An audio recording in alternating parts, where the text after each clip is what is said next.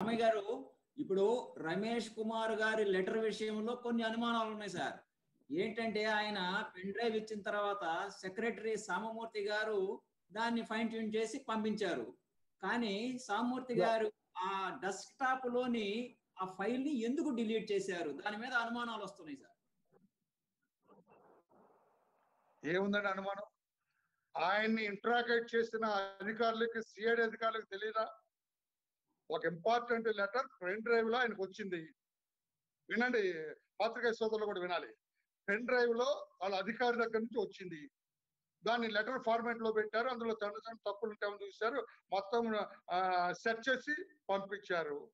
మరలా సంతకం పెట్టి ఆయనకే వచ్చింది. మరలా దాన్ని స్కాన్ చేసి మరలా పంపించారు.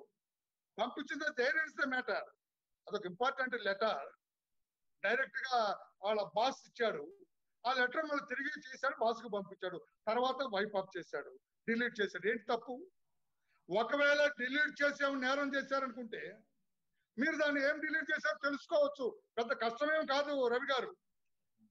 టెక్నాలజీ పెరిగిపోయింది. ఏమి డిలీట్ చేశారో కూడా తెలుసుకోవచ్చు. ఆయన అంటాడు సాక్షి పత్రికలో రాస్తారండి. సాక్షి ఛానల్ ఆయన ఒక ఆయన ఉన్నాడు. ఆయన గురించి ఏం చెబుతాం ఆయన?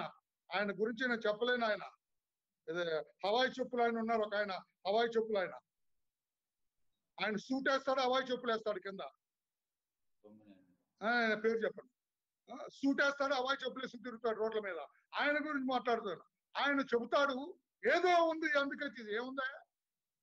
లెటర్ నేనే పంపాను ఆయన అంటున్నారు. టైప్ చేశాను నేను అన్నారు. ఆ ఫార్మాట్ మళ్ళీ పంపించాను అన్నారు. పెన్ డ్రైవ్ కూడా ఇచ్చేసాను అన్నారు. లెటర్ దగ్గర ఎందుకండి? డిలీట్ చేశాడు. ఒకవేళ డిలీట్ చేసిన దాంట్లో ఉంటే ఆ లెటర్ వెళ్ళింది కదా అందరి దగ్గర ఉండగా మీకు కూడా వచ్చింది కదా మీ పత్రిక కూడా వచ్చింది కదా లెటర్. చూడండి ఏముంది? నాకు రక్షణ కలిపి ఇంకా సిగ్గుపడాలి ప్రభుత్వం. ఒక కాన్స్టిట్యూషనల్ పొజిషన్లో ఉన్న ఒక వ్యక్తి రాజ్యాంగబద్ధమైన పొజిషన్లో ఉన్న ఒక వ్యక్తి నాకు రక్షణ లేదు ఈ ప్రభుత్వంలో.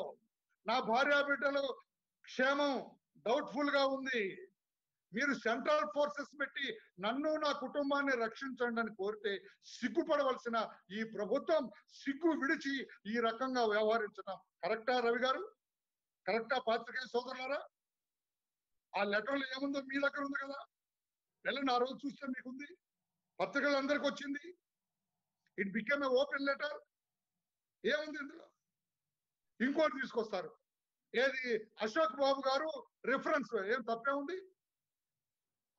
అశోక్ బాబు గారు ఒక లెటర్ రాశాడు డీజీకో లేదు ఇంకెవరికో రాశారు. అందులో రెఫరెన్స్లో తెలియకుండా బుర్ర లేకుండా మాట్లాడుతున్నా. రెఫరెన్స్ అంటూ సబ్జెక్ట్ ఉంటుంది దాని కింద రెఫరెన్స్ అని ఉంటుంది. ఆ రెఫరెన్స్లో ఈ మెన్షన్ దిస్ లెటర్ తప్పే ఉంది?